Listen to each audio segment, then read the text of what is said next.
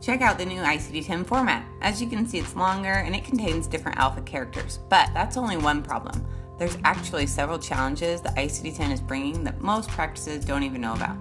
Luckily, Lytec knows the challenges up ahead, and they've created tools specifically designed to handle them. Lytec 2015 alleviates tons of manual labor associated with the new ICD-10 requirements. Let's take a look at Lytec's ICD-10 tools found in Lytec 2015. First, there's a code mapping tool which takes all of your existing ICD-9 codes and creates new ICD-10 codes. The code mapping utility will show you the codes mapped one-to-one and the codes that have multiple mappings. This saves you hours of manual labor and you don't have to buy expensive coding books. Second, you can code an ICD-10 before the actual deadline. Lytec 2015 allows one code to store both the ICD-10 and the ICD-9 equivalent. This lets users start coding an ICD-10 right away so they can start learning the codes and test them but of course their claims will still go out in ICD-9 until the actual switch date, so they get paid. Third, set the ICD version. At the insurance level, users indicate which carriers are switching to ICD-10 and set the effective date of October 1st. If everything is set up properly, then it doesn't really matter whether the insurance requires ICD-9 or ICD-10.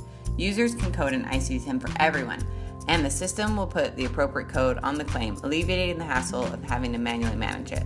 This is especially helpful because workers' comp and auto claims aren't required to switch to ICD 10, and you don't want to have to worry about making sure the doctor knows whether you're coding an ICD 9 or ICD 10.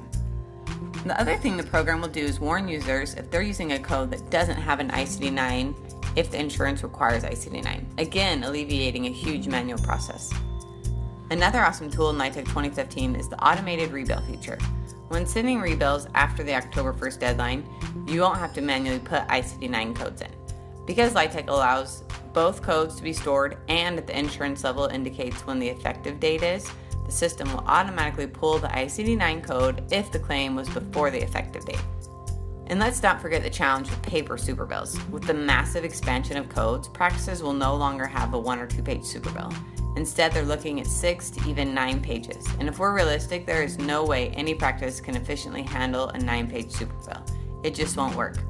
Luckily, Lytec users can download the new mobile app on their iPad and use an electronic superbill to solve that challenge. So as you can see, Lytec 2015 is going to help you avoid tons of challenges and manual labor. It's the only way to make a smooth transition to ICD-10. But before you rush out and buy the software from just anyone, you'll want to see our awesome offer. We're giving away free training DVDs with Lytec 2015. This training will show you how to use the new ICD-10 features, which, as you can see, they're powerful and you're going to need to know how to properly use them. This is while supplies last. Order Lytec 2015 from AZCOMP and you'll get free ICD-10 training. The software is the exact same no matter where you purchase it, but AZCOMP is the only place where you can get this incredible training for free.